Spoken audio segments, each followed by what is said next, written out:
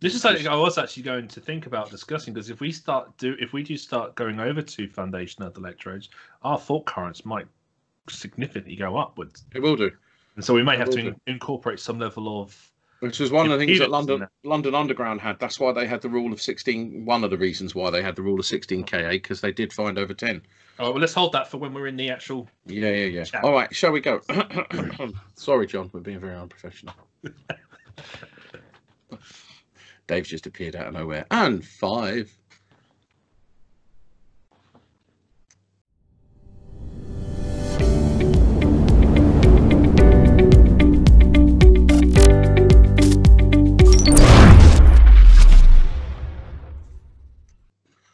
Hello, everybody, and welcome to another E5 podcast. I am your host, Paul Meenan, and I'm welcoming back my regular tag team partners. Introduce yourself. Hello, I'm JW. And I'm joining you this evening. It's David Sparky Ninja here. So, Dave, you were listening in um, when we were talking about earthing Hmm. the other day, and we we, we kind of realised after we finished, which is always the way, um, that there's so much more to this subject. So, we're going to talk about it. It may take five minutes, may take half an hour, may take an hour, who knows. Um, but we're going to talk a little bit more about earthing, um, earthing of electrical installations. Um, for those of you who may not have uh, listened to the last one, uh, earthing as defined under 7671 is the connection of exposed conductive parts of an installation to the main earthing terminal of that installation. And that main earthing terminal is connected by an earthing conductor, which is a protective conductor connecting the main earthing terminal of an installation to an earth electrode or to other means of earthing. No mention of bonding, uh, because bonding isn't supposed to be a form of earthing. It is a way of equalizing equipotential voltages, or equal voltages as us humans call So- it. Before before you dive in, then I mean, Sorry. I mean, I've listened obviously to the previous, and you guys went into a good amount of depth.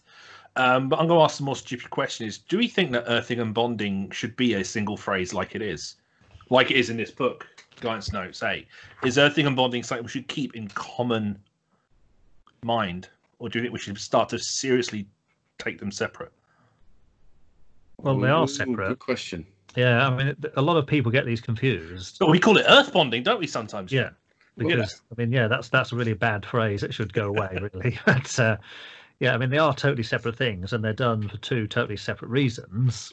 And yeah, yeah, quite right. On the front of the cover, it says earthing and bonding, as it's all in the same uh, particular guidance note eight there. So yeah, maybe they should be uh, separated away like that. There- I think there should definitely be some kind of distance put between the two because we have a habit of applying them as a combined function or a combined principle. Just my observation. Well, you've just dived straight head into the deep territory and swamp. So let's let's just so we've just defined what earthing is. Obviously, it's the connection of a fixed electrical installation into the general mass of Earth for the purposes of safety. But mm-hmm. bonding conductors is a protective conductor providing equal voltage bonding. I hate the word equipotential.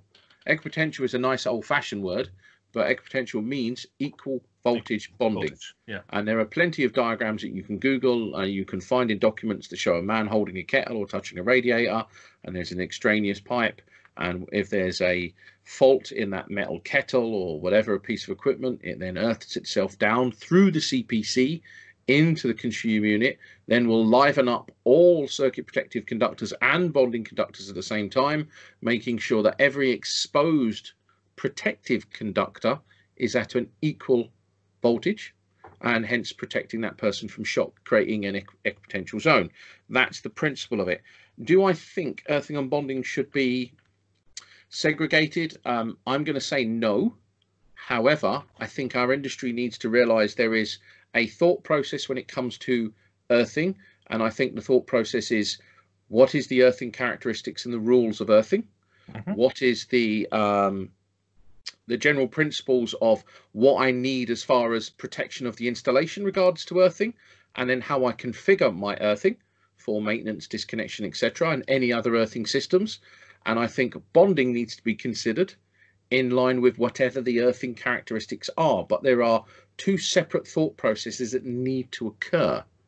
And that's Mhm. probably something where I could tell you now, and, John, hopefully you'll agree with me. The amount of people you'll go into a wholesaler and they'll go, "Yeah, um, I've just got to sort the bonding out in this house." And you're like, "Oh right, is there no bonding?" No, no, I've just got um, I've just got to finish wiring the circuit. You know, uh, too many people think the circuit CPC is the bonding conductor. It can be, but then you're going to have 10 or 16 mil CPCs. Uh, because you can use a circuit protective conductor as a bonding conductor, but it must be sized in accordance with a bonding conductor. And I, I, I, was at an NIC live a couple of years ago, and I'm not going to lie, uh, there was a chap there who stood up and did not know the difference between earthing and bonding. And he was a full scope approved contractor. Um, it was embarrassing. Um, I, saw, I saw the same at an ELEX where NAPIT had to spend about 20 minutes trying to illustrate the differences between them. Yeah. You know, these are fundamental principles. Um, Regulation 13216, no alterations and additions. The last part of it is the uh, thing and bonding arrangements are adequate for the circumstances. Mm-hmm. If you do not have, if you make an alteration to an electrical installation, then there is no means of earthing. You have to then take that in consideration. Now, it may be, as Mr. Ward very um, cleverly states, you could class two if you don't have a lighting circuit with a CPC. You could class two it. There's there's means and ways of selecting the, and erecting the installation so it's safer. The level mm-hmm. of safety is, is not impaired and it, it, it, will still protect the end user um, who is not a skilled or instructed person. Um, but yeah, I think a lot more needs to. I, I know why they made this earthing and bond. Please note, I've got the latest blue one. Um, I know why they made um, this an earthing and bonding book, but I think what it should start off with, I think it's terribly formatted to start yeah. with, because the first 20 pages should be explaining exactly what earthing is um, and I think it just needs to clarify that earthing is paramount for any bonding measures that you take. And I don't I don't think that's clear enough. But we'll we'll cover we'll cover that quite a bit. Now in in the last podcast we defined a TNS, um, what a TNS was, and we showed it on the screen. Uh, Terra neutral separate, Earth neutral separate throughout the supply cable. Um, which is good. It's good old fashioned system. And then in 1978, they introduced something called TNCS, which is where the uh, the line conductor or the live conductor is in the cable, and then the surrounding armoring uh, is a combined neutral and earth. So they're effectively the same conductor, and they just split off at the uh, origin or intake position. Um, a TT, Terra Terra, which is you provide your own earthing system via rods or a, a multiple of rods. We kind of touched on IT a little bit because it's very rare. None of us have worked on it. And we also talked about the dreaded TNC, which you're not allowed to connect into any public supply network, which is basically where the earth and neutral are combined. But yeah, because you mean where they do do it. Yeah, you, you can't put TNC. Um, you can't protect it with RCDs, can you? TNC. So TNC no. is redundant. Well, John. Yeah, I mean TNC offers it's not allowed, and so don't go using it. But it offers there's no protection. It's basically in your installation. You've only got two conductors, line and the combined neutral and earth. And apparently, there were some places in uh, certain parts of Eastern Europe used to put three pin sockets in, and the two wires come in, so line and then the combined one, and then to link to the earth, it was just a little link in the back of the socket between the neutral and earth pins, and that works fine as long as the neutral conductor is not broken. But as soon as you get a fault in neutral on the installation, loads of equipment in your installation becomes live and kills people. So that's so why. the so the protected conductor terminal and the neutral were just commonly connected together in the socket outlets. Yes, and that's TNC. Wow. And say it does work as long as all those all working, yeah. But of course, yeah, once that neutral becomes broken somewhere, you can imagine the problems. So all that stuff in your house is live, and there's people getting shocked from it, and RCDs don't work, and it's like the it's the open pen conductor but it's the open pen conductor in your house, not outside in the street. So right. now we know why yeah, TNC is not allowed and uh, should never be used. So yeah, I think it's fair to say. We've seen on social media there are guys out there who are actually finding few spurs where they've had a fault or something's gone wrong and they have combined the neutral. It's you know rather than rewiring the cable, they've actually connected the neutral and earth together. Um, I think I, I, I think it's fair to say you can see that um, more often than not. But one of the things we didn't cover uh, was the responsibility for providing a means of earthing.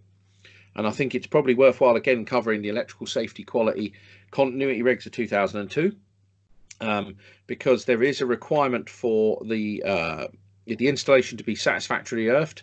Regulation 26, paragraphs 1 and 2, require the consumer's installation to be constructed, installed, protected, and arranged to prevent, so far as practical, danger and interference with the distributor's network. Now, this is where it, it, it then says a consumer's installation complying with 7671 is deemed to meet those requirements. What a load of tosh. That does not carry weight. That is a network not understanding LV, mm. and that is the LV guys assuming that everything's fine on the network. There is an evident breakdown between the Wiring Regulations Committee and the people in the networks understanding how things operate nowadays. Can now, you that, can you read that last bit again, please, about 7671? A consumer's installation complying with the requirements of BS 7671 is deemed to meet these statutory requirements.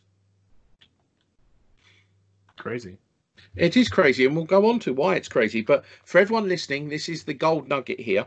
When an electric, sorry, where the electric electricity distributor does provide an earthing facility.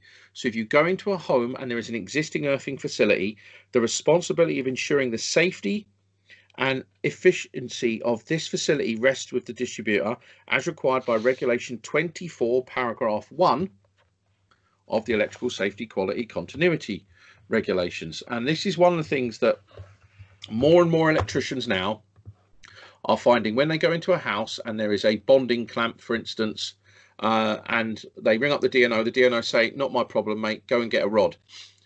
It says regulation 24 of the safety quality a distributor or meter operator shall ensure that each item of his equipment which is on the consumer's premises but is not under the control of the consumer is suitable for its purpose installed and so far as reasonably practicable maintained to prevent danger so that's interesting how do how do meter operators and dnos maintain equipment in people's houses is there a maintenance regime that we all miss? Where they send letters around going, sorry, we just want to come and check our equipment. It's amazing, isn't it? You can now see why UK Power Networks and EDF sold the network off because the cost of this is prohibitive. The, um, the, question, the question is then, if you're an electrician and you've got this issue and the supplier obviously says, oh no, put a rod in, what, I mean, other than practically doing that, what kind of options are there to persecute and actually put a legislation in place over that supply authority? Yeah, um, it would need a case study or a precedent set of someone getting shocked or hurt, um, and that's the but, problem. But you, as the electrician, there, there and then, would be able to fix that by putting a rod in. Uh, you could, but at the end of the day, it's down to the DNO to maintain to prevent danger. Okay. If you've lost your earth, but the electrician the responsible. Yeah. yeah, but if the electrician gets a basically go fish from that supplier, the yeah. electrician has two options to either leave it as dangerous as it is. Yeah which obviously is not them doing all that they can or putting in a rod. So, that, so they're getting away with it. But if they're putting in a rod, that then leaves you because just remember something like with anything, we always start the legislation, Dave, as you know, mm-hmm. but we work our way down. So there is a wonderful document that's called the Customer LV Earthing Design Installation Earthing Design, document number EDS 060017. Now this has been published for UK Power Networks there will be equivalents for Western and other parts of the country. UK Power Networks covers London, Eastern, and Southern areas. Um, it's a rather large DNO, and basically what it says, um, there's lots of references to PME. So let's say you've got PME and you've you've lost your Earth, you've gone in, you haven't got an Earth. Mm-hmm. So you assume it's down to the DNO, and the DNO say go go spin. Well, it, it clearly states in 4.1 um, there is a summary of where a PME term, Earth terminal is not permitted. Okay, it then says, unless specified otherwise, these installations shall use TT. So naturally, someone on the phone will go, well, you can just TT it, which shall consist of an independent earth electrode and RCD. It then says the TT earthing system should be segregated by a minimum of two meters from any PME earthing system. Well, how the hell does the electrician know that? Or know where so that then there's PME a duty. Is. There's a duty of cooperation and coordination. So yes, they can say go go swing, but at some point they need to come to the table with some level of information. So they go go putting in an earth rod that creates a possible issue of diverted neutral currents. So they'll put in an earth rod and pick up too close to the cable, um, you know, some form, form, form of leakage or neutral currents because there's a high uh, impedance joint somewhere, and it'll then in, enter the installation and go through the bonding conductors. Mm-hmm which could happen. This is one of the problems with PME as an earthing Well, source. see, it's the same reason why in the update of 722 it actually says under the TN section, right at the end of the TN section, it says you could do TT alternative, but we don't recommend that for the exact same reason. They don't Yeah. recommend doing TT conversion So for, for the EV points. so let's let's i'm gonna i'm gonna i'm gonna jump here it it may be or it could be argued or it could be fair to say that the dno networks are failing to the point where we know from the last podcast that there are more and more cases of um, broken pen conductors high impedance joints um, if we are getting more cases where we are getting effectively diverted neutral current because that's basically what it is it's diverted neutral current you can see our installations going more and more towards TT. Now, we know from our research on prosumer that the future of the regulations is going to head towards foundation earth electrodes. Yeah, it's going to be basically a very large form of, and if we can't get a foundation earth electrode, it's going to be a TT. The trouble is, is how do you TT if there's not that cooperation and coordination? So, in the table, um, and it's on our Instagram page. Um, there's extracts from it, but in the table it says PME Earth table uh, terminal not allowed at exhibition shows and stands, fairgrounds, amusement parks, circuses, mobile transportable vehicles, or any outside broadcasting, caravans, motor caravans, boats, marinas, petrol fuel filling stations, permanent buildings associated with the above installations, um, living accommodations, offices, restaurants, and shops. That's Mhm. included with the ones above. Um, however, you can, if the building is electrically separated and the installation complies with the bonding requirements of 7671. Uh, all refineries, no. Um, uh, mines and quarries, no. Railway, yes, uh, which is interesting. Uh, I'll come on to why. Farms, agriculture, and horticultural premises, yes. You know, everything else pretty much uh, EV charging points in the highway, no. But EV charging points in premises, yes. Mhm. So, and this is this is where I think, and if we talk about hot tubs, even um, hot tubs, do we export the PME there? Do we do we TT it? These are the questions that people are asking. Um, when we should really also be considering if I export that PME, which we know we can export PME so long as we have control measures and protection and bonding, and we don't have, in the event of a broken pen conductor, a metal tap on the wall that could kill someone via Yeah. diverted neutral current to the general mass of Earth. Just, just let me just Go on. ask a quick question, just in case some people listening aren't too sure of what it actually means. What does export PME mean? Oh, take it outside of the equipotential zone or the building of which it's. So that's a protective conductor that's gone into an equipotential zone or a Faraday cage effect, and then it's Yes. taking that same conductor outside of that area. Yeah. With it having a common reference of neutral or not now that it's been separated. Well, if um, I'm thinking for a shed here, so if I exported it out to a shed, Hmm. I would um, run my live neutral and earth, and in my shed, if there was anything that was exposed or extraneous, I would bond like and earth that uh, a water tap that you've taken Yes. down under the ground and you've risen a tap. So Yes. that's a, an extraneous conductive part in a location external to your potential zone. Yes. Now, So- what I would do, what I would do, because maybe I'm a bit of a nerd or a weirdo, I would run, I would connect the primary side of the armored to the uh, PME supply to offer protection, earth protection for the armored cable that I would run. I would then use an insulated gland on the connection to the board, and I would TT that shed. That's what I would do. If it was a major building, I wouldn't. If it was a building with offices, I wouldn't do that. I would just run the PME and the submain, and everything in that building would be bonded accordingly. Um, but if it was a shed in my house, or if it was a uh, um, uh, hot tubs, I can't believe we're talking about hot tubs in England. But if it was a hot tub, It's been a I very popular question lately, hasn't it? well, this Hot is this is my engineering judgment. I would I would protect. I would always run an armored cable. hmm I would ensure that if the the old shovel went through the armored cable, that there was an earth return path. But at the load end, I would gap that armored, and I would ensure that um, obviously it was within insulated uh, enclosures, and I would put my own local earth rods to provide a local earth just for that equipment. Mm. It's exactly the way I would. Um, it's exactly how I would, and it's exactly the way that we recommend doing uh, caravan park hookups. Right. Because with caravan park hookups, obviously the socket outlet for the caravans cannot be on a PME, But a lot of caravan parks, they'll have a warden or a block, toilet block. Those can be on a PME. And we have the option of either putting the TT in at the intake and then going off with a TT to, you know, probably 50 caravans in a string. And that brings a, a selectivity question if that RCD was to trip. Or we take the PME out and then in the little hookups, we can then do a TT for finer selectivity arrangement. So, yeah. I see it raised a lot, um, and obviously hot tubs has been a very um, popular question lately. It seems to be going around a lot of uh, different places. And so this one of the things that bugs me, and it's it's my biggest issue with earthing, is where you have one and more. Start again. Where you have more than one supply. So I'm going to use a railway example because my the majority of my career is railways.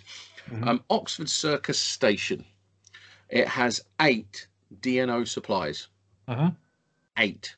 With loads of static switches and all sorts. So by the time you get to the operations room, you would need eight supplies to fail um, with lots of changeover switches before they would notice any power had gone, other Mhm. than obviously phase failure relays. Um, that everything in that railway station is common bonded from an earthing perspective. But one of the things that um, we noticed on railways, and Dave, you know what I'm talking about here, is is the use of earth clamps, leak earth leakage clamps, is a really good functional check before you start working on an earthing system. Because one of the one of the biggest problems I have with earthing in general is the connection to earth should, in theory, be inert. There should be no electron flow through that conductor. We now have a combined neutral earth conductor supplying virtually every building in the country, which is now designed to carry energy, electron flow, whatever, and we're now exporting it and reconfiguring it. Now, with any um, electrode, if you give it a, a juicier or a low impedance path, electron flow will go through that. So, for instance, if I have a power supply at a railway station and I have, say, let's half an amp of leakage from my installation, that should, in theory, go into the DNO head and away. But if I have a lovely old cast iron gas main or a uh, water lead um, water pipe, that may be of a lower impedance than my ZE on my electrical installation. So over the years, electrical installations, again, this is just my personal and professional opinion. Over the years, domestic electrical installations were protected by more than one electrode. Mm. They were protected by a lead water main, a gas main, and an electrical supply. So you always had redundancy in your electrodes. Now, because because of the amount of junk that's dumped down the water and the the gas, especially the metal gas networks, their pipe work's corroding to the point of absurdity, make it non-conductive. Boom, I've lost my resilience. Now more junk's going down the DNOs. We're losing the lead water mains for MDP as well, so that's going. So in the minute you start exporting earthing, you create a major, major problem that never really existed before. And and you go back in time 20 years ago, if it was TNS, you never had to worry about any of this. Mm. You never had to. Now I we genuinely are we have the problem of now enhanced leakage currents from within the installations and also the risk of diverted neutral currents. And Dave, you know what I'm talking about because there is installations where you will have let's again I'll use railways where you'll have one or two supplies or one or two different railway operators and if the impedance of let's say my station's um, water main which is lead is very low then what i'll find is i'll get diverted neutral currents from another railway station which is interconnected so i now have an inert system which is charged and carrying energy The, que- the query re- with this is obviously if you look at the definitions of what live is or charged mm-hmm. under electricity work regulations, it mainly Yep. focuses on stored energy or values of voltage. Um, so it's very hard to quantify what value of charge would be dangerous because you could be measuring one, two, three, or 10, 20, 30 amps between two Yep. metal parts, and you can easily go into your environment and you can go, oh, that's just an earth connection, and you can work on it with a lot less risk assessment. You could just say, oh, I'll just take that off and tighten it up. think it's just a protective conductor. When in theory, when you actually disconnect and get in between that connection, you could, you know, there's there's a potential value there So- of, de- of death. Most electricians, and I'll admit to this, when I was younger and I was learning and I was a bit of a scallywag, if I worked in a board and I was adding an extra circuit, when I would connect that CPC in or disconnect that CPC for that, I would sometimes see on the earth bar a little sparking. Mhm. You know, a little bit of sparking, and that could be from the connected load. You know, it could be residual current just discharging into that earth. But nowadays, I mean, uh, we it's fair to say that I have measured myself ne- nearly 50 amps of energy on an earthing conductor. This is in recent times, and I've also measured. Um, I know Paul Skern will say, "Oh no, no, you can't have," but there is DC leakage that you get from DC railways. We know that because there is equipment that can do that measurement, um, and that's to me that's diverted neutral currents. Now, even from railway traction systems, the return, which is what they call it, is in our world a neutral current. Hmm. And and where you have poorly earthed or per, poorly configured installations, um, you're going to get diverted neutral currents. And these standards that they've written, um, where there's they actually talk about railways in this one, section 5.1, and they basically say there's this huge departure for railways. Um, and as long as there is, I mean, it actually says a PME sh- um, shall not be provided to sites that have AC and DC. That's fine. There is no track transfer. The DC system is not and will not be connected to Earth, which they always are in some form apart from London Underground. The DC supply is segregated by at least one meter from the PME Earth through soil. So there's obviously lots of science behind this. And simultaneous contact between LV Earths um, cannot occur. But all Earths are common. Everything's common bonded, even Mhm. even via a fortuitous means, i.e., incidental. Everything you can't. Wait. it's It's at True Earth. Yes. If things are going to True Earth, you can't. I mean, uh, unless unless you're going to put a huge amount of distance between them, realistically, it's hard to engineer out. I, I when I was doing my two three nine one, there was a chap from London Electricity Board, and he he basically said London is saturated with energy. There is no such thing as zero volts in London. All there is is equipotential zones, making sure the buildings that sit on it have equal voltages on exposed and extraneous metalworks. That's all you can achieve. Mm. You are just discharging down to a very saturated ground, and he is. I, I, I, I never ever forgot that because it's so true. The, the, the thing is, because we've got equipotential zones, we're not really discovering or seeing this problem that much. You know, until one Yeah. gets broken, like you know, like we've seen recently, So where where a simple connection breaks, and then suddenly you have sparks occurring in furniture, in you know, in street furniture. So I think it's fair to say, um, and this is my piece of advice, and anyone from the IET or any engineer who wants to disagree with me, I respectfully would happily have that debate with you. Um, I happily show you evidence. Um, but what I want to do is move on to the the rumor mill. Um, we should call this the the, the news flash. So um, foundation, because we realised that we spoke in the last one, we didn't even cover foundation earthing. So what I want to do is I want to share my screen with you now and I am going to because John Moore taught me so well in the last one. So hopefully you should be able to see. I don't know if you can. Um, Can you see my? Yeah. So this is um, this is an actual foundation earth electrode. It's for Crossrail. Um, this is at Westbourne Park. So what they did was they put um, 24 meter deep piles, 1.8 meters wide, and what we basically did was we connected. We had two points of connection. We had one on the pile cap and one on the pile. And as you can see, it's it's an unbroken connection. And that's what we did. We ran two two connections out. This is just a photo of um, one of them, and we just used these um, standard clamps on the um, on the rebar, which is a reinforcing agent um, on the uh, Mm-hmm. on the pile. So they're all linked together by like a deck of rebar, so that they don't move. And that now is the retaining wall. If you get on a crossrail train and go out of West London in the next year, um, that wall is earthed uh, for the local substation, and that's foundation earthing. It's So just- that one, that one lower in the image, is that a dedicated spike electrode for the purpose, or is that just jumping on a? that's just jumping. driven. Yeah, that's a a vertical vertically driven piece of rebar. Yeah, yeah. All right. And what I can show you is so there's a, a another. Oh, hang on. There you go. There's another uh, picture of it. I'm just going to try and zoom in if I can. Uh, so you can see, you can see it came in through the duct, clamped, clamped on the horizontal, clamped on the vertical. So we made sure we had good connections. Um, and that was my feet taking photos. And then we put a little label that said main earthing for the HV transformer. So this was for the HV uh, center tap. This was the local earth, which was literally directly next to it. Um, that was it then wrapped in Denso tape. So if you are doing um, um, earthing connections that are outside, Denso tape is fantastic for protection against corrosion. And remember, when we're selecting and erecting the installation, we must be thinking about protection from corrosion. Now, simple rule of thumb that I have with all my sparks is they must have a tub of Vaseline with them at all times. Um, because on railways, where you have any connection that's exposed to external influences, even um, battery terminals on UPSs or on signaling sets, the connection is caked in Vaseline just to protect it from the air and corrosion mm-hmm. and oxidation.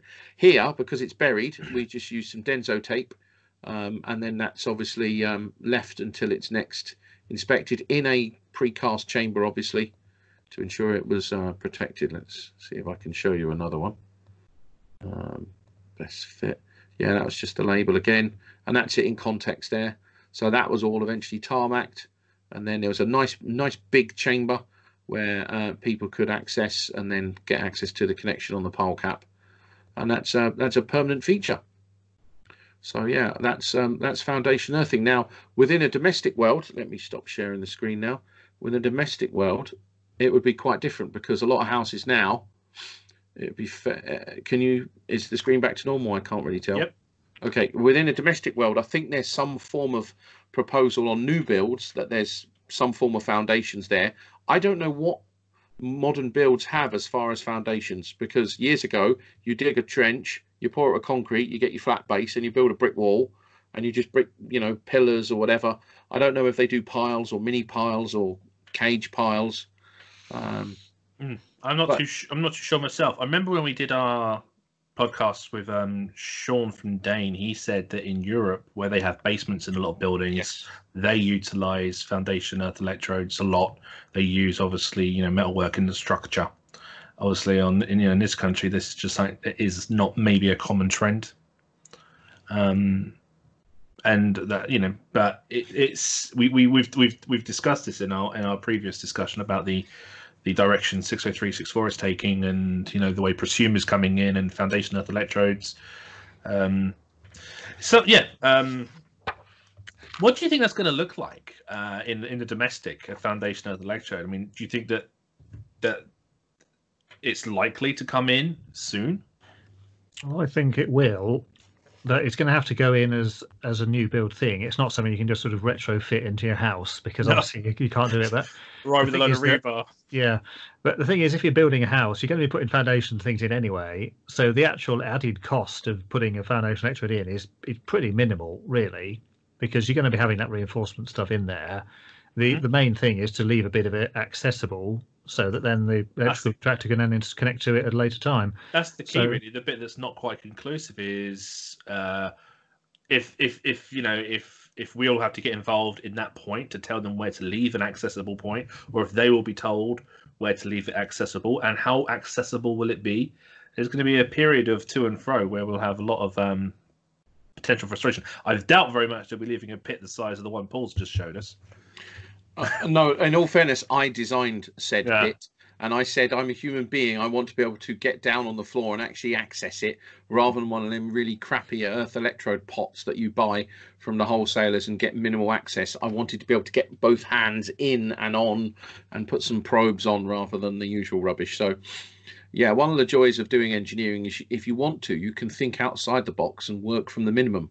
Mm. Um, and sometimes, obviously, this is this is more this was more industrial, and I think commercial industrial, if we can say, foundation electrodes or foundation earthing is coming in one way or another in the next amendment or the amendment after. That's a given. I think commercial industrial will have no problem in doing it. Because no. realistically, what is it? It's basically a mass. It's your substructure acting as your your TT, your earth rod. Um, pretty resilient, pretty robust. Hopefully, you're not exporting DC so it doesn't corrode the rebar because we know that happens. Um, in the domestic world, do you know what my opinion is? I genuinely think when the new buildings are built, there'll be a series of rods between three to nine rods stuck in somewhere under the ground and all common bonded with just a bit of green and yellow sticking up or something directly underneath where the mains intake is.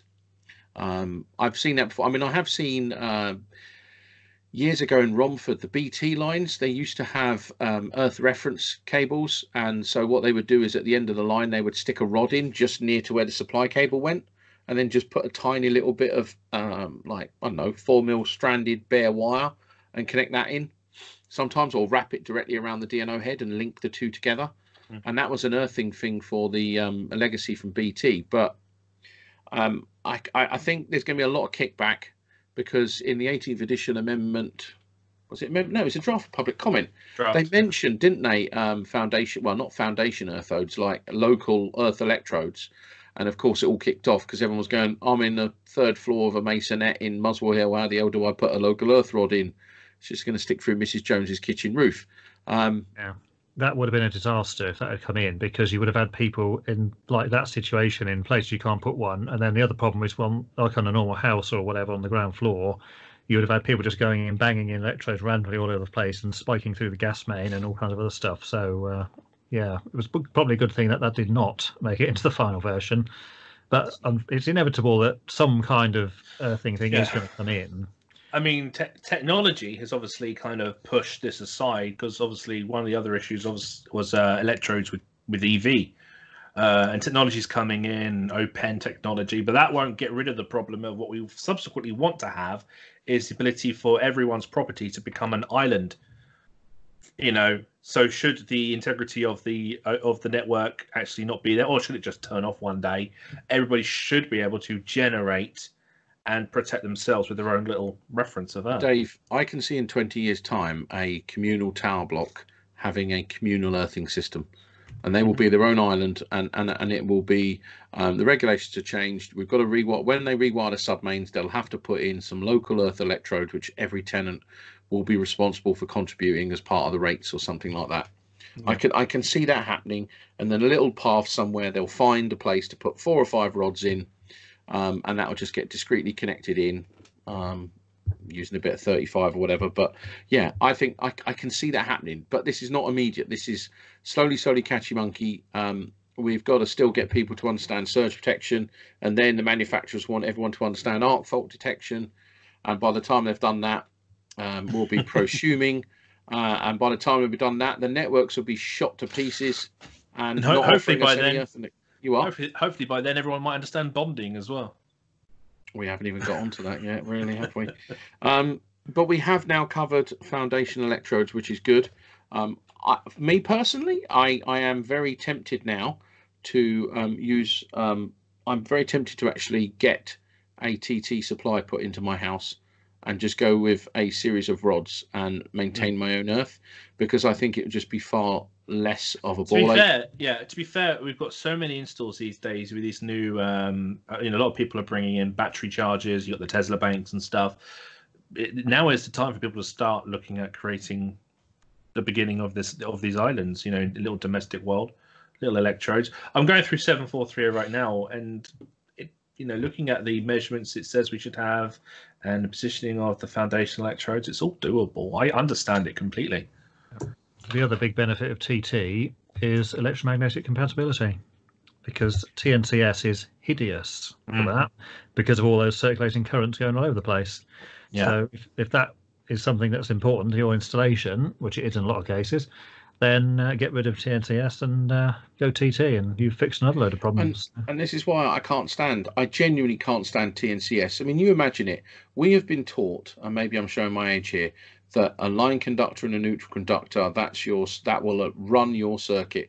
Your cpc is there to protect in case of fault to protect life in case of fault. And you're thinking well that's marvelous that's great. Yeah. But on a tncs you basically go 10 meters away and it links to the neutral. And you're just thinking to yourself this this is this is this is a crock this is mm. this is wrong. All it all it really did is it kind of fixed the problem because obviously when did you say TNCS came through? Seventy eight, I believe it was mentioned. Yeah, I believe in that document it mentions from nineteen seventy eight. That's just, I mean, that can't be far from when we started to be a lot more aware of impedance measurements and the impact of impedance measurements. Yeah, it's all instrumentation. Yeah, it's the fifteenth edition, basically. Yeah, because TNCS, all that did is it fixed a lot of problems we have with ADS. Because obviously, with higher impedances, the TNCS assisted with that. Um, and we still focus heavily on that being a, a benefit that TNCS is a benefit because we have the more rapid impedances. Um, But we used to have E- uh, in the good old days. We used to have EEBADS, didn't we? EEBADS, Earth yeah. potential bonding and automatic disconnection of supply. Yeah. Now it's ADS. yeah. Do you remember cage bonding? Uh, Remember no. that? In the No. domestic, we used to put a dedicated four mil conductor from the bath uh, from the board Oh, to yes. the bathroom. Yes, yes. We created a cage within the but within the home. That's right. And everybody, every time uh, you did any alteration additions, you had to cross bond every single tap and into the CPC of the light switch. And it was like, Hmm. I've got to run some mini trunking now up your wall. And people were mortified that you were bonding their go- radiators. go- and- Local authorities would go in and they'd have a little sticky trunking where they would be going Yeah, out of the light I've switch installed that. to the heater, from the heater across to the shower, down to the pipes. Everything was cross cross connected. I installed it and I just found it absolutely ridiculous, to be perfectly frank. Um, I But never, that's the I'd confusion that we still see today. We still see people wondering about whether putting pigtails in connections as well. You know, in these little earth connections and all, all that stuff. The way it's reinvent, re-innovated or rewritten the rules of bonding um, has created confusion over time. Well, I think on that bombshell, and if we haven't got anything more to talk about earthing, we should probably stop there because I think we'll probably need to Yeah. do another one. I'm Um, looking at I'm looking at uh, seven four three, and I think we should have a dedicated chat on that at a later date. Fine, we'll do that. We'll do that at a later date. Right, okay. Um, that's it really. I think we've done earthing now. Uh, well, we probably haven't, but I think that's enough. Covered think enough we've covered-. We've covered enough for now, and we'll let you know more when we know more. But um, I think the, the thing is, is the proceed with caution when you're selecting and erecting. If you don't have a clamp meter, I would suggest you go and get a decent earth leakage clamp meter um, and and investigate for yourself. A lot of people in our little communities are now just clamping and looking. Yeah. You know, because obviously you can't see it, but you put a clamp meter around now you can. Yep. And and you know, there's current when they didn't expect there to be current. Yep. Yeah, as well I said in the last episode that if, if you haven't got one, just get one, even a cheap one, any one, and then just stick it on some of the uh, earthing and the bonding conductors in an installation and see what you get. And it's quite revealing. Mm. if You actually find. And if you've got a really really cheap one that's really bad, um, send it to John and he'll blow it up and set fire to it in his unique way. Um, right, chaps, thank you very much as always. Um, we hope this has been useful. Um, we will cover, I think we'll do one on bonding and we'll do 7430 and other bits and bobs. And um, until the next one, um, chaps, thank you very much. Cheers, bye bye. take care of yourself and each other. Bye bye. Right.